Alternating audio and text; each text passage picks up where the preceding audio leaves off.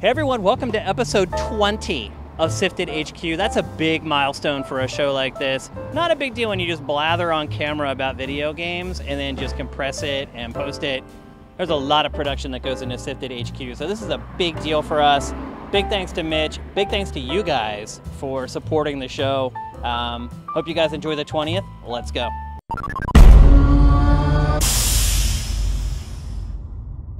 The Battle Royale genre keeps exploding, and big players are getting into the game.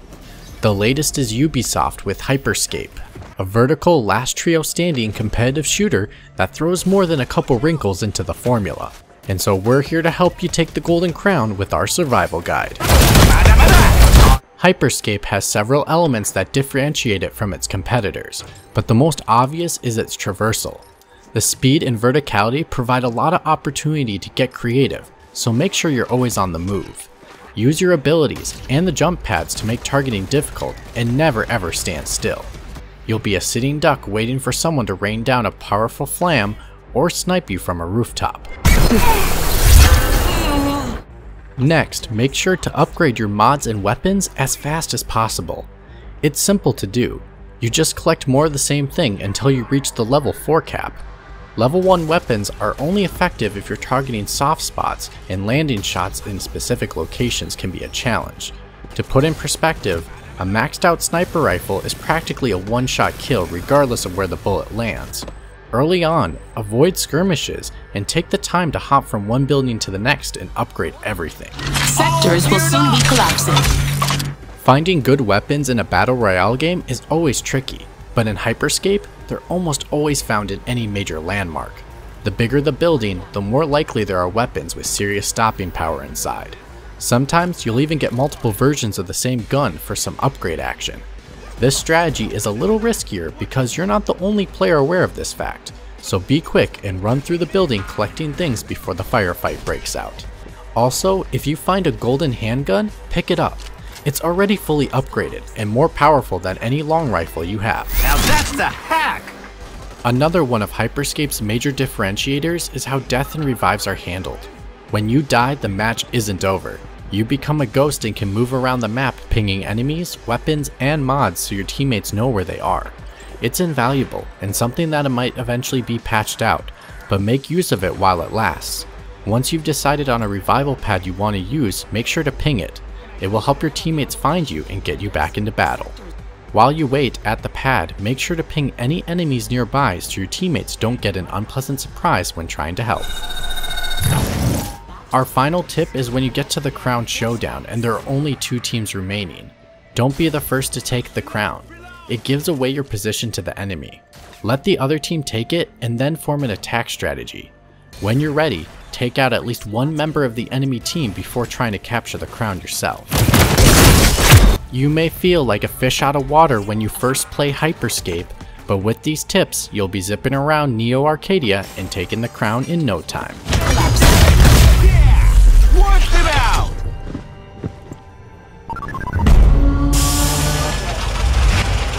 It's been slow as crap in the gaming industry this week, but that won't stop us. We're still here to deliver the six biggest news stories in gaming for the week ending July 14th, 2020. I'm Shane Satterfield, and this is the Big Six.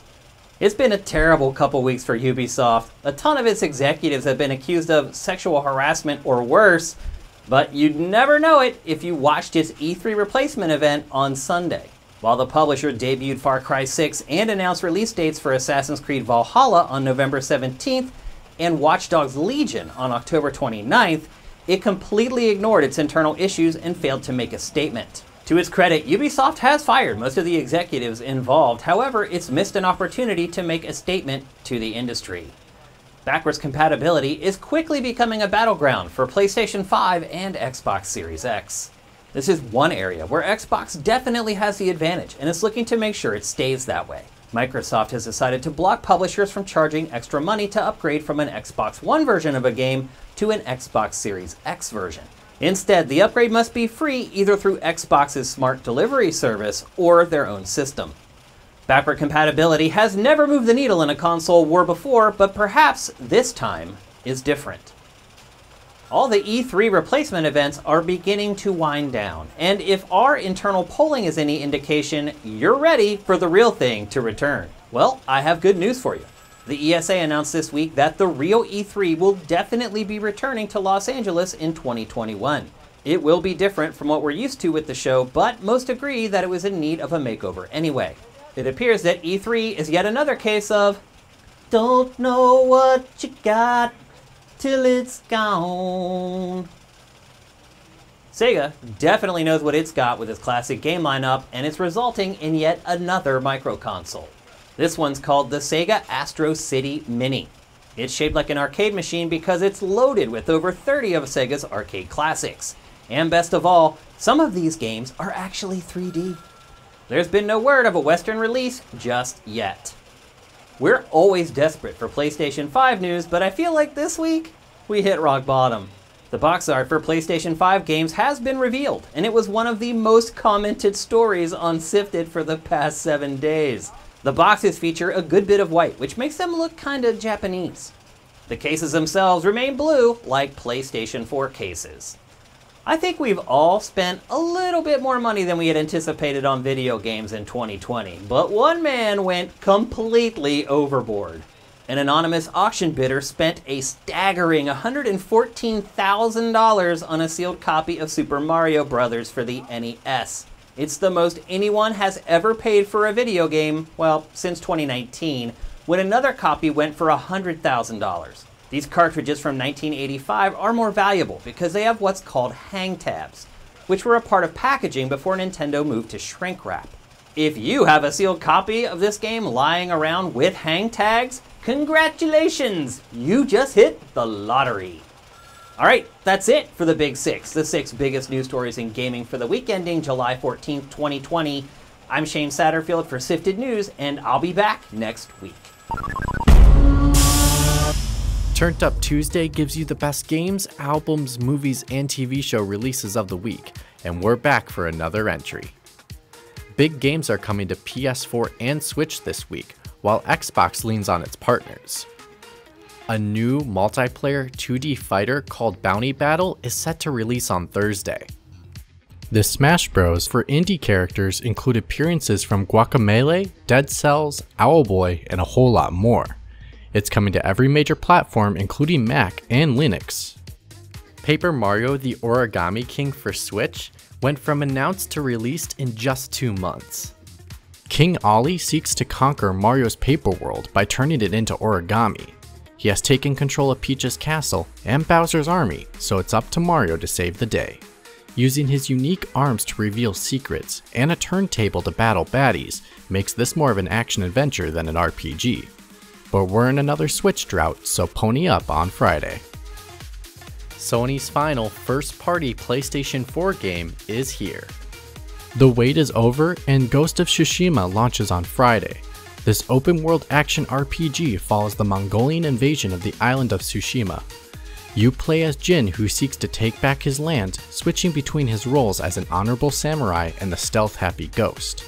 It's already shown an acute attention to detail, and we expect much more from the full game. Coming from the excellent Sucker Punch, it's about as safe as a purchase you can make. Ghost of Tsushima looks like a massive game, so you're going to need some tunes to keep you company, and we've got plenty. UK grunge band Bush has been around for almost 30 years at this point. It doesn't tend to stay in one genre, and its eighth album is its heaviest yet. It's enough to keep our metal streak going at least. Turn it up and slash some Mongols on Friday. Ellie Goulding is quite beautiful, and she's just as talented. Her fourth studio album, Brightest Blue, launches on Friday, and it's sure to get her more radio play. The new songs are much more poppy and much more electronic, but if you listen to the lyrics, her dour perspective hasn't changed one bit. Here's the one that won't offend anyone else in the house. On the flip side, if you're looking to rev up the place, there's no better album than Coriky's self-titled debut. Frontman Ian MacKaye was the former lead singer and guitarist for Minor Threat and Fugazi. His new band sounds familiar, as Fugazi's former bass player has joined the lineup. Fugazi broke up almost 20 years ago, and this is as close as you're gonna get. Buy it now. If you're looking for something in the middle, Surfer Blood's new album, Carefree Theater, releases on Friday. This band has been remixed by some of the biggest producers in the world because of its excellent songwriting. This carries over into the new release, as it's a collection of catchy and quirky earworms that will leave you humming along long after it's turned off. As the backlogs of old episodes and projects dwindle, new movies and TV shows are hard to come by. If you have been enjoying Snowpiercer on TNT, then you should check out The Alienist Angel of Darkness. Returning for its second season, this late 19th century crime drama stars Dakota Fanning, Daniel Bruhl, and Luke Evans. They're in a search for a dangerous, elusive killer, but they shine light on issues like corruption, income equality, and gender roles along the way. It premieres on TNT Sunday, so there's time to catch up before season 2. Hey everyone, welcome to Closet Raiders, where I share some of the coolest stuff I've collected in my 20 plus years in the gaming industry. Today, we're going to Naughty Dog Land, and I have what I've heard several people say is the holy grail of Naughty Dog collectibles. Now you're looking, you're saying, Shane, it's just an old book sitting there. It's really not an old book. It is the Fortune Hunter edition of Uncharted 2. Um, there were 200 of these made total, um, and most were sent to the press. Uh, and there were a few that they gave out to contest winners, but there are 200 of these in the entire world. Um, and it looks like it's a big book, but it's really not. It's a, it's a fake book that has a bunch of cool stuff inside it, I'm gonna show it to you right now. So let's open it up. And here really is the coup de grace because this is signed by the entire team that made the game. And I'll move that page so you can catch the ink there on it. Signed by everyone. So, first of all, 200 of these. Second of all, signed by the entire team. I don't know how many of those there are. I'm guessing maybe 100. Um, these were sent to all the EICs uh, back when the game was released. And there's probably around 100 of those back then, roughly. So, probably half of them uh, were given out to EICs. The other half were probably given to the team or to people who won contests from Naughty Dog. Anyway, let's open this thing up. So they said signed here, and then there are several pages of lore talking about the characters in the game, setting up the plot in the game.